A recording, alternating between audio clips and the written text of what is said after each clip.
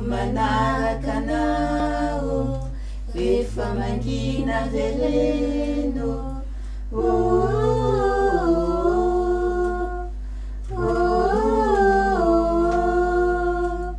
Inonizy lavombaza ento manaraka anao aiza rehefa mangina veleno Viviane, ton fils est mort, mon père. Je vais te raconter sa mort, ce que tu n'as pas vu, puisque vous ne vous parlez plus depuis plus de dix ans. Écoute bien, il me dit.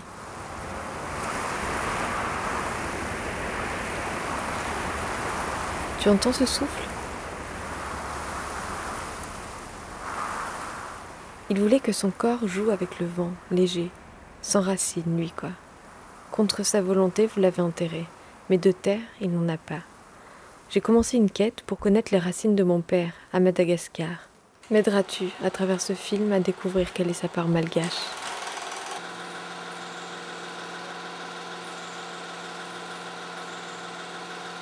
Nous sommes à Majinga, port de la côte ouest de Madagascar, sur l'estuaire de la Betsibouk. Nous y habitons depuis janvier 1955. Au début de ce film, Gérard a 3 ans, Edwige pas tout à fait 2 ans, Eric bientôt 1 an. Mireille naîtra ici le 18 novembre 1955. La qualité des films laisse à désirer. Il s'agit des premiers essais avec une caméra mécanique 8 mm de l'opérateur chef de famille. Éric, mon père, avait gardé les films tournés par mon grand-père à Madagascar. J'ai cherché qui étaient ses parents, que je connais mal. Je sais que son père était magistrat au tribunal de Tananarive en 1950, trois ans après la révolte des indépendantistes malgaches qui fut sévèrement réprimée. Qui était cet homme?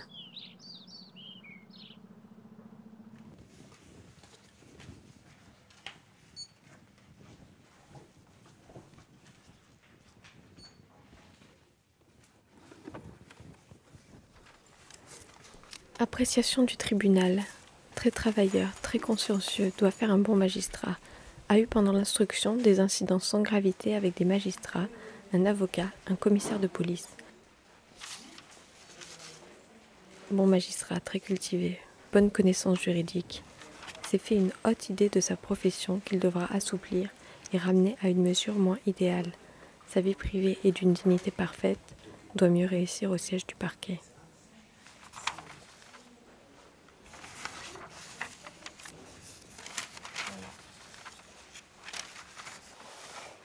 De mon grand-père, je n'ai que ses films, et sur ces films, je vois mon père.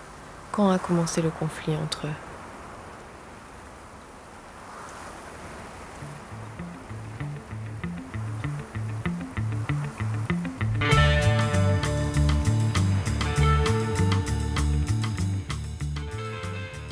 Et sa mère, quel rôle a-t-elle joué?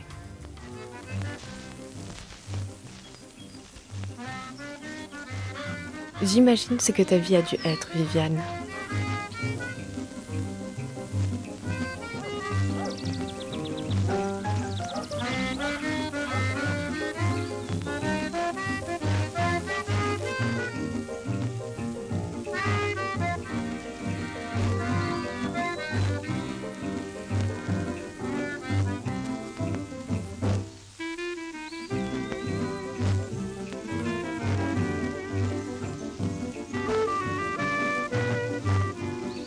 J'ai été interroger les personnes qui ont partagé l'enfance de ton fils à Madagascar.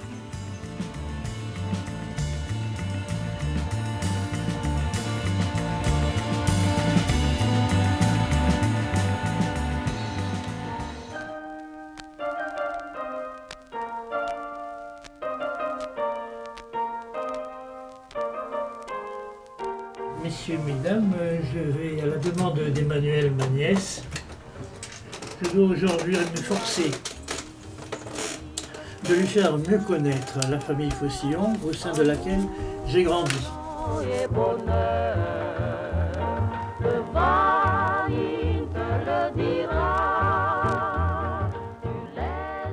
Mon grand-oncle Christian remonta au soubresaut généalogique des Faucillons, puis vint l'essentiel. Mon arrière-grand-père était douanier à Tananarive en 1934. Elles sont belles les parisiennes les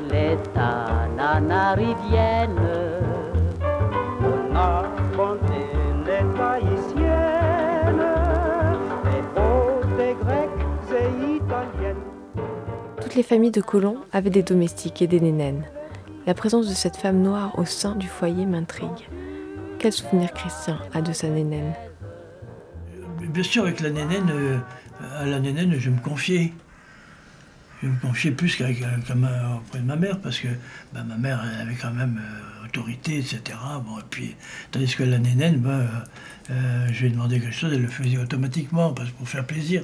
Et puis que, alors il y a une chose qu'il faut dire aussi, c'est que toutes les nénènes là-bas sont fières d'avoir des petits, des petits blancs dans le dos, s'occuper d'eux. Ils sont très fiers, sont très, très, très fiers.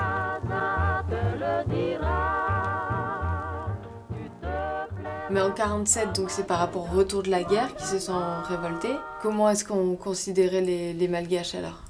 Les Malgaches n'ont pas été traités comme des bêtes, loin de là. Loin de là. Euh, franchement, euh, et puis euh, je ne sais pas ce que c'était la ségrégation. Ça, je peux vous l'affirmer. La J'ai appris ce qu'était la ségrégation en venant en France. Justement. Et en allant en Afrique du Sud. Quand on est passé en Afrique du Sud, à l'escale, que vous voyez sur des, des cabinets, euh, vous aviez vu sur, sur des WC publics, il y avait euh, Colored Men, White euh, et Indians. Il y avait trois chiottes différents. Ouais. Alors ça, moi, ça m'a, ça m'a chiffonné. Quand j'ai vu ça, je venais de Madagascar, je connaissais pas. Il n'y avait pas ce genre de Absolument pas, aussi. absolument euh, pas, absolument, D'accord. absolument pas. Il n'y a aucune ségrégation, aucune, ça n'existait pas. Hmm. Je dis à Tanari, nous habitions euh, à côté des Malgaches, etc. C'était, la ville était complètement euh, euh, mélangée. Est-ce que vous pensez que vos fils, ils ont été marqués comme mon père a pu, aurait pu l'être? Je ne sais pas s'il l'a été, mais a pu être Non, marqué je sais pas, par- c'était trop jeune peut-être. Hmm. Vous êtes, vous êtes, ils sont pas restés assez longtemps là-bas.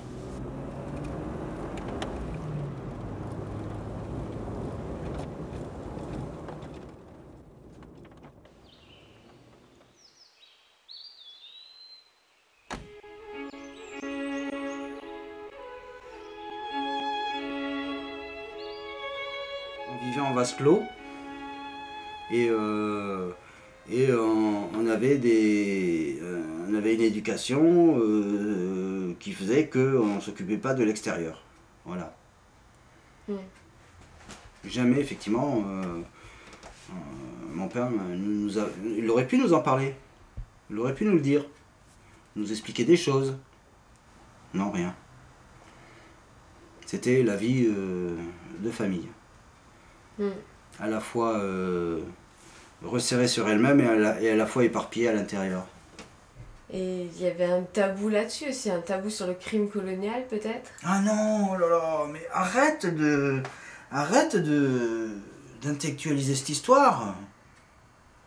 Mais rien du tout, il n'y a pas de tabou. Il n'y a que. euh, ça l'intéressait pas d'en parler, c'est tout. Mais je. C'était pas une volonté de ne pas en parler, c'est que ça l'intéressait pas, c'est tout. Enfin, bon, euh, Je sais pas, t'arrives pas à saisir un peu. Bah, c'est moi qui n'arrive pas à saisir. ou c'est toi qui es pas très honnête quoi. Parce qu'un tabou Ah, par définition. Non, mais j'en sais rien, mais moi c'est normal, je l'ai pas vécu euh, cet interdit. euh, je veux dire, je l'ai pas. interdit? Psychologiquement, j'ai pas été éduquée dans l'aveuglement et dans le fait de ne pas regarder la, la maison qui était à côté de la mienne, tu vois. Parce que vous viviez vachement fermé. Ouais, et tu as un tabou là-dedans, toi, un interdit. C'est pas un interdit, c'est que ça se faisait comme ça. Il n'y a, pas de, de désir de regarder à côté. C'est pas un tabou, L'absence de doigts, je. c'est une absence de, de volonté, c'est tout. Hmm. C'est c'est ça que tu, tu veux pas comprendre, c'est c'est c'est, euh, c'est une espèce d'état de fait. C'est pas, euh, c'est pas une- un truc où on dit il vous est interdit de parler de Madagascar ou de poser des questions sur tel truc. C'est c'est un état de fait, ça se faisait pas, c'est tout. Vu que quand tu étais petit, c'est une nénène, ce qu'on appelle une nénène qui s'occupait de toi, est-ce qu'on peut dire que tu as eu deux mères? J'en sais rien, j'ai aucun souvenir de cette fameuse nénène. Aucun. Il y a comme un, un trou noir, à part quelques petites images par-ci par-là, de Madagascar. Viviane, aujourd'hui je continue ma quête. J'ai été interroger les personnes qui auraient pu être au plus proche de ton foyer à l'époque. Elles étaient à Tananarive ou à Majinga entre 1950 et 1957. Sur cette photo, je vois mon père sur les genoux de sa nénène. Je n'ai pas retrouvé cette femme. Par contre, j'ai rencontré Marie-Joséphine, nénène, à Majinga en 1956.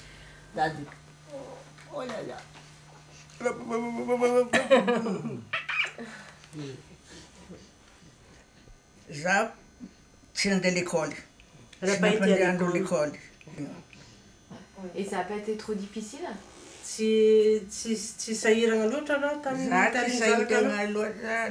Donc misy lasansy zanako. Hmm. Za iankapikazaka amin'olo za navy ny tegnanakahy za navy mazenga za niasa aya a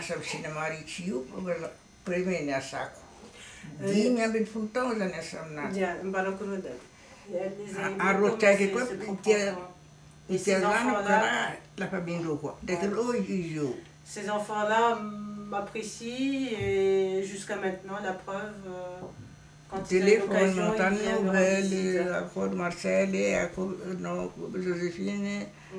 hein, madame, ta semaine là, cinq ans, ils sont au téléphone. Et on reçoit souvent leur coup de fil pour demander si mamie va bien. Elle aurait pas voulu avoir un autre euh, mari après?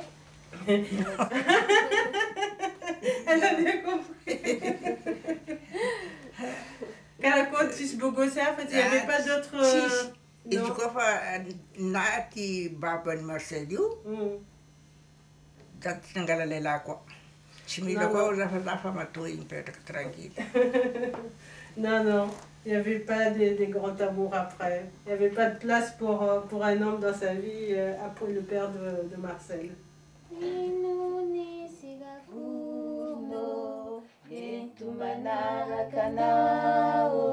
Marie-Joséphine et sa petite fille dorment dans la même chambre. Ça, c'est ma grand-mère quand elle était jeune. Ça, c'est avec un cousin ou un. Tu t'arrives à parler avec ta grand-mère? Ah, bah oui. Ah ouais? Elle parle français quand même, enfin un peu. Bah, je crois que ça, en fait, je suis pas sûre. Enfin, si c'est sûr, c'est le voile euh, quand on fait la, la communion, en fait, à Madagascar.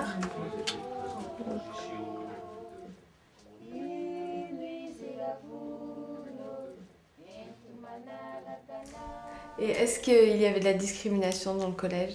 Ben, la discrimination, euh, je dirais qu'elle était inconsciente. Je dis que c'était un peu le fruit de l'époque, puisque le système colonial était généralisé en Europe, tout en pensant qu'on allait porter une civilisation avancée, sans se rendre compte, on exploitait les gens. Et donc, même dans l'enseignement, même dans le collège où j'étais, il y avait la séparation de deux sections, la section européenne, on appelait Vasa, et la section malgache. Et donc, les Vasa, les Européens, étaient toujours dans les premières places. Et donc, première place au réfectoire, et même il y avait deux réfectoires, puisque c'était des pensionnats, n'est-ce pas, souvent.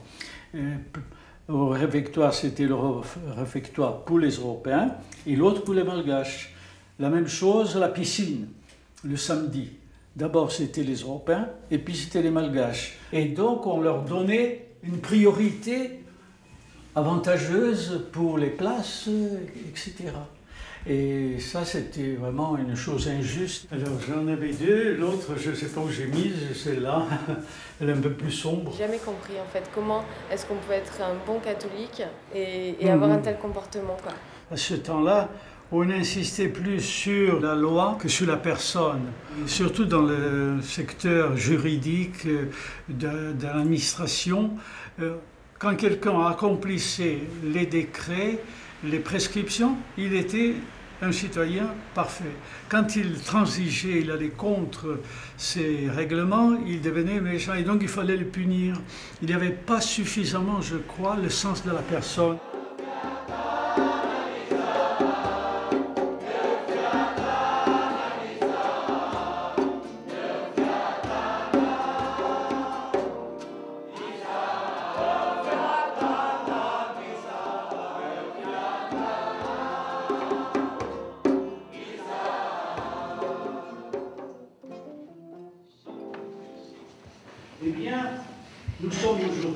Pour préparer encore un envoi en mission, partir et annoncer la bonne nouvelle de Jésus.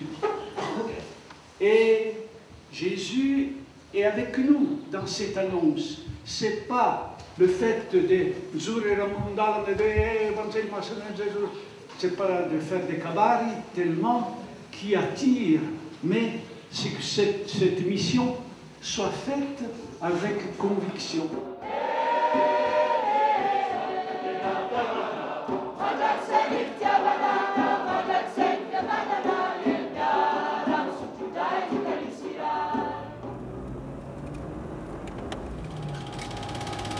Le jeune gars, 1956.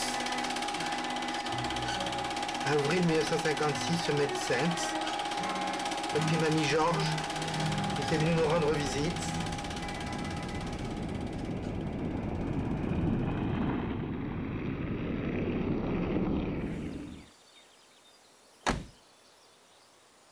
J'ai l'impression que quand mon grand-père filmait, c'était pour fixer les gens, pour faire une, une archive, une mémoire inscrite comme ça, comme la loi, comme quelque chose qu'on préserve, comme du patrimoine. Il n'avait pas de lien charnel avec ses enfants, il les touchait pas, il les embrassait pas.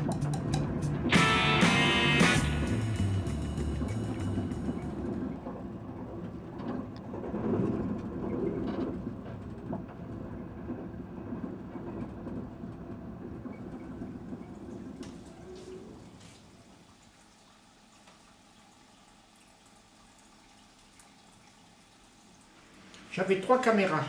Une 9.5, une 8 et une je sais pas combien.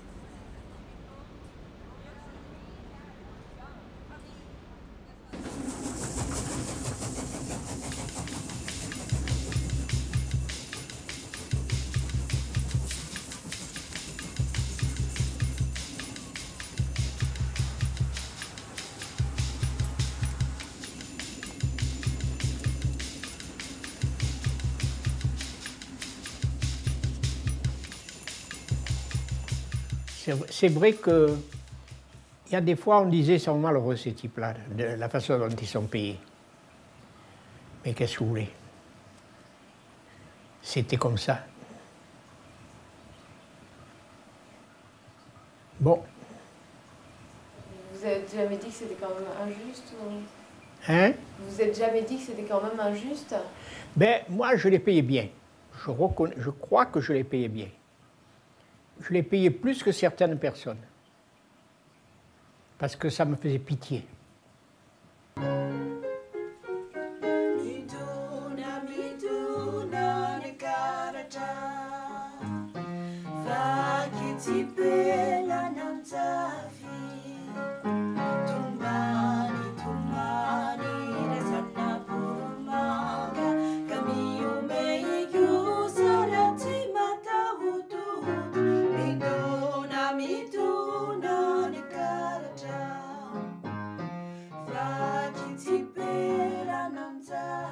Ce conflit colonial, vous l'avez ressenti, vous? Si on avait le sentiment qu'il y avait conflit, tous les trois, vous ne vous en rendriez jamais compte. Parce que, comme je disais tout à l'heure, notre premier souci, c'est que comme nous ne savons pas quel est le fond de votre pensée, eh bien, pour ne pas vous choquer, on va, euh, non pas occulter, mais on va enterrer au fond de nous-mêmes tout, ce qui, euh, tout ce qui peut choquer l'autre. Euh, L'anecdote que, que, j'ai rapportée, c'était l'histoire de la de l'instituteur français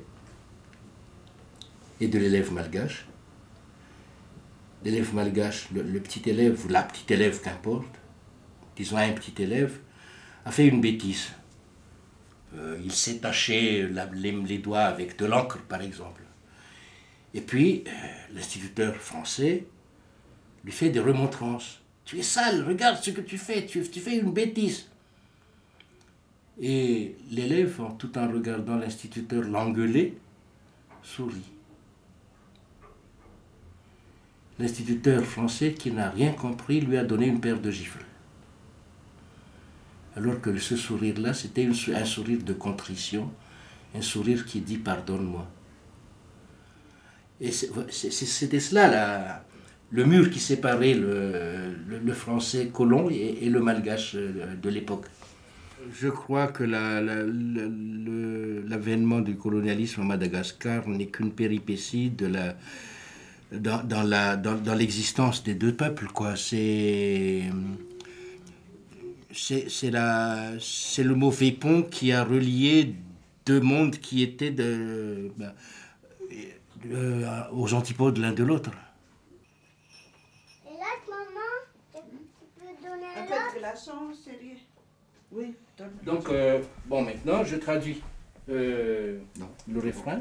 Le refrain. On y va? Euh, Le refrain dit Écris-moi lorsque tu partiras. Je lirai ta lettre le jour, j'en rêverai la nuit. Écris-moi quand tu partiras. Cela me consolera et séchera mes larmes.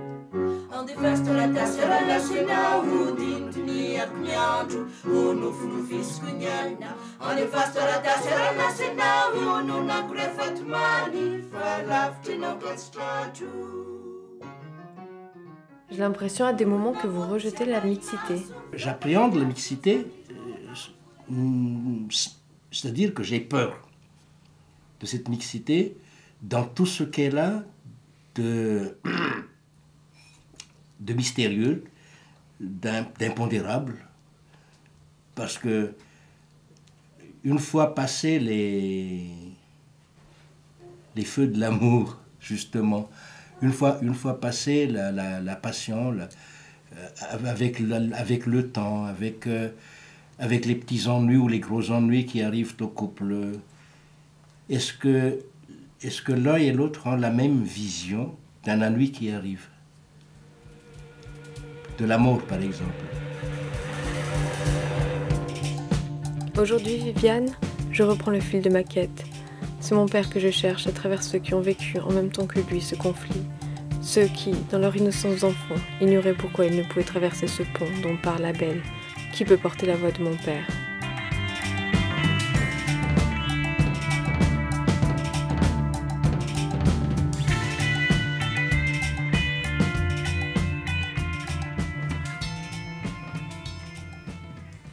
Moi, je crois que la colonisation a quand même dépersonnalisé les Malgaches. Donc, ils ont, ils ont essayé de d'étouffer tout ce qui est malgache. Et c'était sûrement une stratégie pour que les malgaches ne puissent pas se manifester en tant que malgaches. Moi, j'ai l'impression que, par exemple, mes grands-parents qui ont vécu euh, 10 ans à Madagascar, ben, ils n'ont rien compris, quoi. Ils avaient cette peur comme ça. euh, ils avaient peur de vous, euh, en fait. La politique coloniale, il y avait une direction à suivre. Donc, ces gens-là, ils, n'avaient pas le choix, ils devaient les faire. Ils devaient faire tout ça. Et ils savaient qu'à côté d'eux, c'était des personnes humaines qui avaient des réactions. Donc, euh, ils avaient quand même peur. Parce qu'ils savaient que c'était quelque chose pas tellement de. et pas bien et pas tellement Toi, Ils en naturel. avaient conscience. Hein Ils en avaient conscience que Oui, c'était pas moi. naturel et que c'était pas Ben, normal. Bien sûr qu'ils en avaient conscience. Même dans notre euh, programme, ils disaient toujours euh, les primitifs et eux, les civilisés. Ils le disaient dans le- les livres? Mais bien sûr. Ah. Et ça. ça, du coup- Bien sûr, ça choquait, ça choquait, ça choquait, ben, ça choquait, mais c'était la réalité en ce moment et tu vivais comme ça. C'est pour ça que je te dis, c'était un acheminement très très difficile.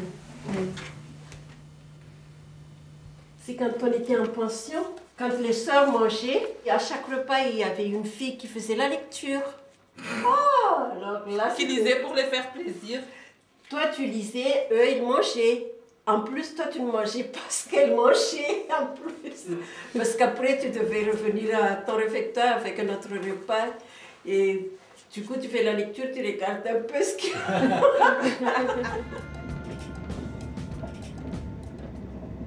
Vous êtes parti en 1957, trois ans avant l'indépendance. Mon père avait trois ans. Pour lui, le chant de la nénane s'est tu. Est-ce cela qui a fait perdre l'usage de la parole Est-ce pour cela qu'il n'a jamais parlé de son enfance dans les colonies? Il ne reste maintenant que la voix de son père. De Majinga, nous avons gagné Tananarive pour nous envoler vers le Cameroun. Une visite rapide de cette ville où j'ai vécu près de 15 ans s'imposait.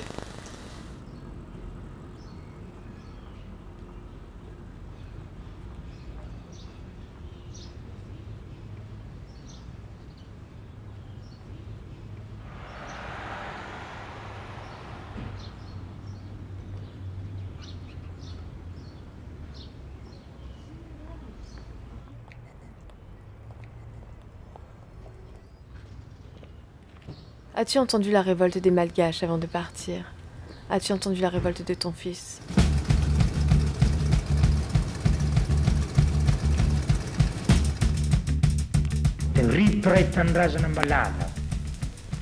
Tamin'ny roa amby roapolo valo amby dimampolo sivanjato sy rivo dia ny tenany général de gaulle nanao antsoava ampaby maso tiany mamasina fa madagasikara anie ka firenena nanany ny fanjakany ara-dalàna teo aloha karariny raha verina aminy indray izany fitondram-panjakana izany. Koa mifalia ry razana malala. Fa azontsika manomboka androany dimy ambyroapolo juin enimpolo sivanjato sy arivo izany fahalovantena tanteraka izany.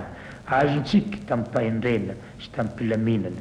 Tsy nisy raha latsaka tsy nisy tabataba tsy nisy fikorontanana mbola velona ny madagasikara mahalotena On sentait qu'il n'y aura plus certaines oppressions. On ne sait pas exactement le contenu parce que j'avais 14-15 ans. Mais on était euphorique, on était euphorique, on était content, surtout qu'on attendait à la télé. euh, pas à la télé, il n'y avait pas la télé à l'époque. À la radio, les discours du président, euh, des, des futurs euh, politiciens, des futurs présidents, qui nous a un peu réconfortés dans notre sentiment un peu national. Mais on ne savait pas exactement qu'est-ce que ça allait amener. Donc, euh, une certaine euphorie mêlée d'une certaine euh, angoisse quand même. Qu'est-ce qui va arriver? On ne sait pas. On n'a jamais été indépendant. Bonjour, entrez. Ne vous effrayez pas, il y a un petit reportage chez moi. Va, va de l'autre côté. Allez, avance. il a peur. Et Mon questionnement venait de mon grand-père. Et c'est vrai que lui, pour le coup, il est, c'est l'inverse de vous, quoi. Ah oui, il est resté. Il est resté. Mais on peut pas, on peut pas le, le reprocher parce qu'il Bah, était dans ce. Vous, vous avez évolué C'était l'idée de l'époque. Et comme il vivait l'idée de son époque sans chercher, sans chercher ailleurs, il épousait l'idée de l'époque. Et donc je pense qu'on ne peut pas le lui reprocher. Vous, en fait, heureusement que vous avez vécu le déracinement pour. euh, Ah oui Si j'étais resté là-bas, comme la plupart de mes amis d'ailleurs qui sont restés là-bas, ben, il n'y en a pas beaucoup qui ont, qui ont changé. hein. Mon propre frère qui me dit, mais je ne le reconnais plus, mon frère.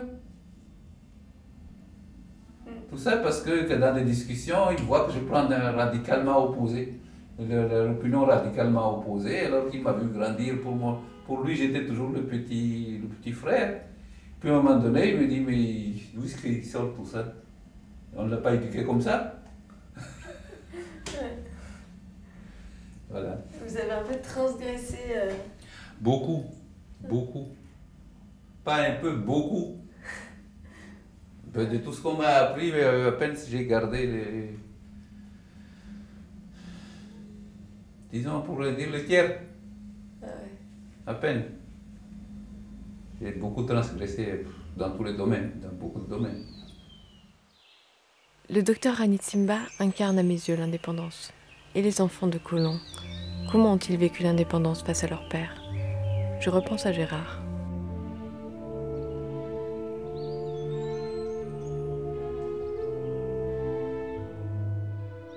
Il nous a enlevé tout, tout désir de, comment on pourrait dire, d'initiative. Ça veut dire de, pouvoir, de pouvoir euh, euh, s'épanouir euh, tel que nous on aurait voulu. Nous a essayé de nous mettre dans un moule et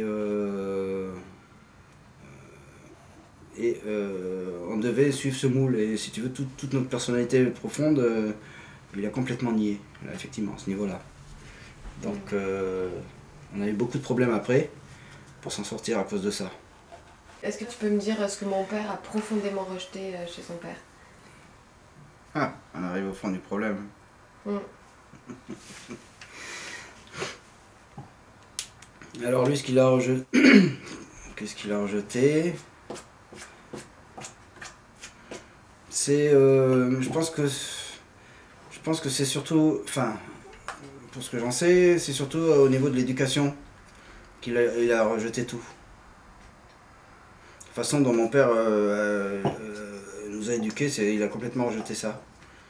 Euh, bon en fait je me demande si si Eric n'a pas tout rejeté carrément froidement tant qu'à faire comme ça on n'en parle plus. Parce que il y a plein de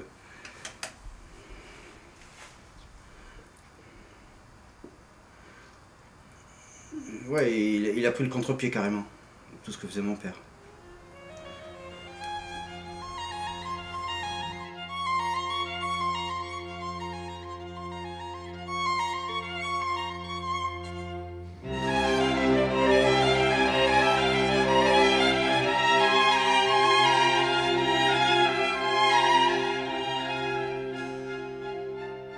C'est mon père qui filme ce repas de famille. Que ressentait-il face au colonial?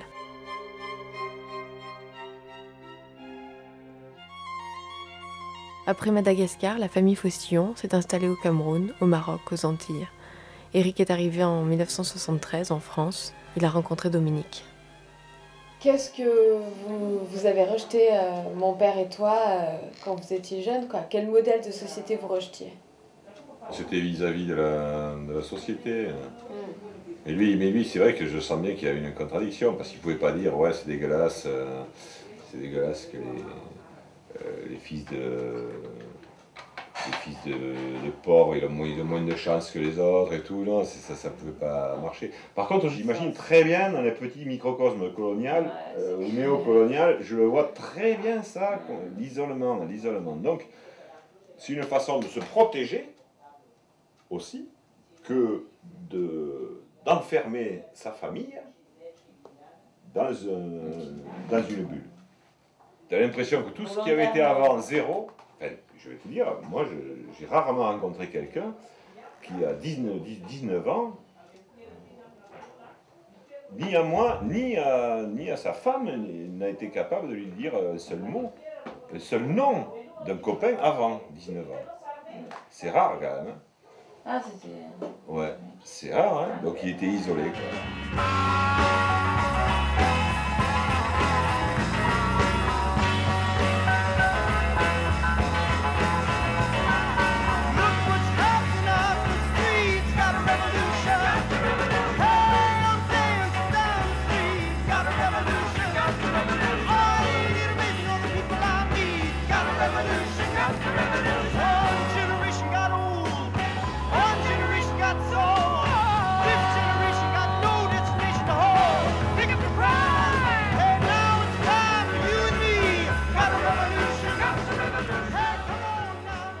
Difficile pour un fils de colonial d'être de gauche. Il fait une croix sur son passé.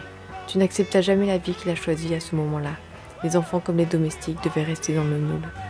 Comment vous, les coloniaux, avez fait face à ce bouleversement du monde?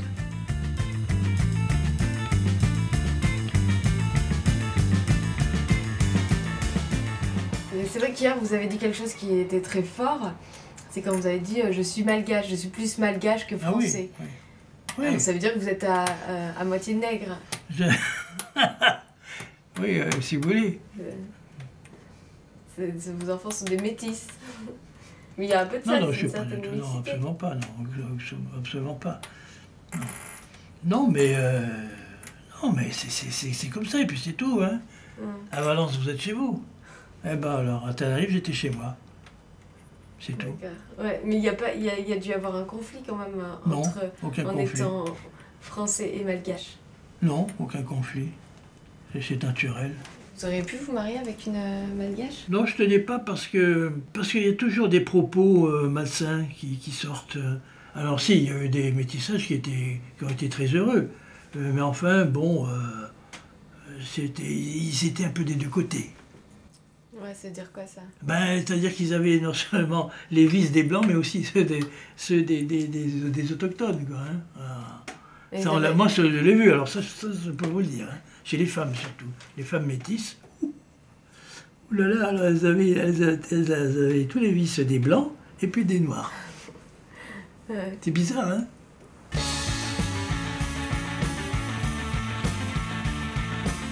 Viviane, si tu sais écouter les personnes qui ont tissé le fil de cette quête, alors je penserai que tu as su aimer l'étranger en mon père. Accepteras-tu de finir ce film avec moi?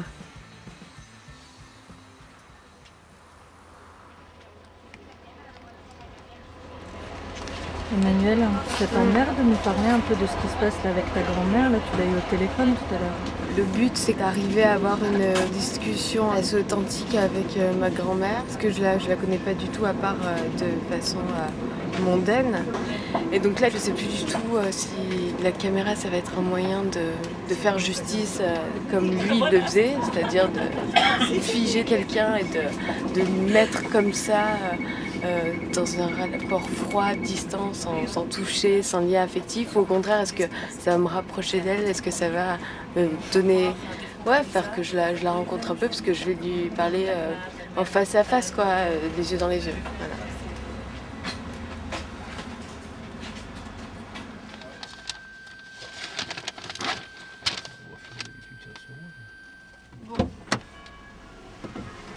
C'est quoi, le mieux un bouquet de fleurs ou une plante? Ben, des fleurs, non Ouais, des fleurs. Ouais. Pas une plante, ouais, des... mais une plante en pot ou. euh, Je sais pas. C'est quoi? Ouais, bon, je- Moi, je, pré- je dirais des fleurs, mais...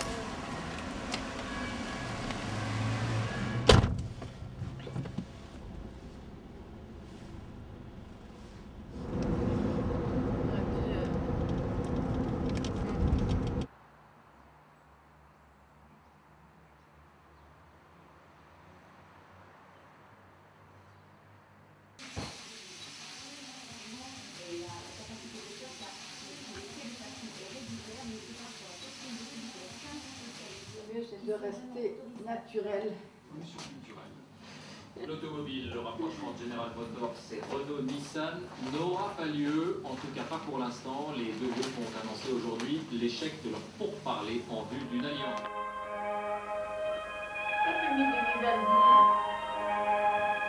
Tu me réponds? J'ai mis du Vivaldi. Pourquoi? Comme souvenir nous avons aimé.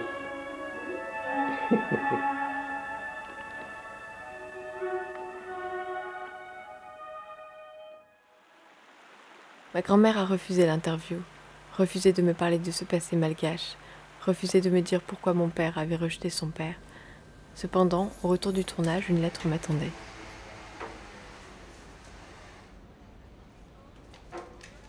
Ma chère Emma, pour ton projet, je pense qu'il est prématuré. Je me sens seule et suis en deuil. Il m'est impossible de parler de date et encore moins de me laisser interroger. Peut-être l'année prochaine. Il est ma chère Emma, inutile d'insister, je suis encore sous le choc avec un moral très bas et qui varie. Je me tournai alors vers celle choisie par mon père, la plus à même de m'expliquer son étrangeté. Et du coup, vous êtes retrouvés là-dessus, en fait, euh, sur le fait que vous deux, vous étiez nés dans les colonies et... Je, pense qu'on d'abord on pensait pas du tout qu'on était né dans les colonies, c'était pas dans ces termes-là. On était né ailleurs, dans un pays qu'on avait aimé, quelque part où on était bien, et euh, on n'avait plus ça. Ouais, je, pense que dans notre relation, même si on l'a peu parlé, on s'est retrouvé, on, s'est retrouvé là-dessus. Quoi, il y avait quelque chose au- autour de ça. On n'en parlait pas, mais c'était présent, c'était. On n'en discutait pas. Après, il y avait des petits mots, il y avait une, sensibilité à certaines images, à certains arts, euh, des- choses comme ça où on se retrouvait complètement. Quoi. Je pense que quand j'ai débarqué en France, dans un environnement d'odeurs, de bruit, de tout vachement différent, j'étais paumée, il me manquait quelque chose. Et, et cette sensation, je l'ai retrouvée euh, quelquefois de, de façon, ça te prend comme ça. Une fois, j'étais dans le métro et tout d'un coup, je me suis sentie hyper bien. Il n'y avait vraiment aucune raison. Et en fait, j'ai réalisé qu'il y avait une femme noire qui somnolait en face de moi et j'avais un sentiment de, paix, de sérénité. De... C'est un truc qui, que tu croises comme ça euh, des fois dans ta vie.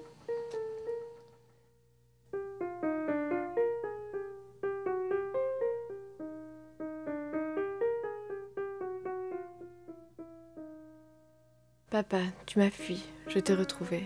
À travers toutes ces rencontres, le hasard m'a pris la main et a esquissé ton portrait. À travers Marie-Joséphine, Jeanne, Justin, Léon, Abel, Gabriel, à petites touches, sur le canevas sans cesse, c'est un autre qui a émergé. Plus je me rapproche, plus tu t'éloignes, et ce n'est jamais qu'avec tes proches que tu mets le plus lointain. Et quand ta mère me dit non, je sais que tu n'es pas là, car tu es ailleurs. Est-ce que tu es mort parce que ta part malgache n'a pas vécu? Il te manquait un cœur noir. Tu ne voulais ni vieillir, ni parler. Pas de mots, pas d'histoire, pas de passé.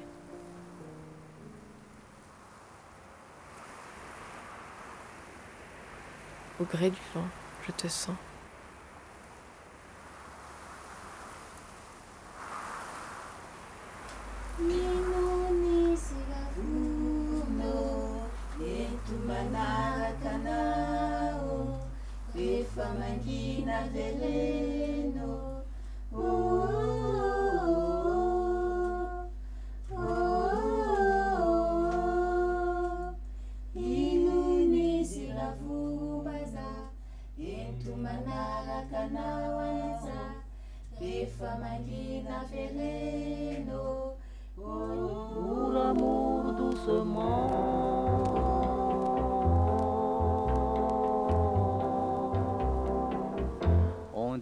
Dans mon pays,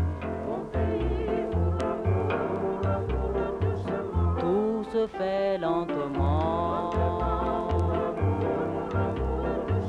Et cela se traduit. Mour, amour doucement. On y travaille lentement. On y gagne de l'argent. Et chacun vous le dira. On devient vite un grand bazar. Le vasaille est un pacha. Oh, qu'il est riche ce gars-là. Ah. Cela prouve quoi que l'on dit. Qu'elle est vraie cette devise? Mour, amour doucement.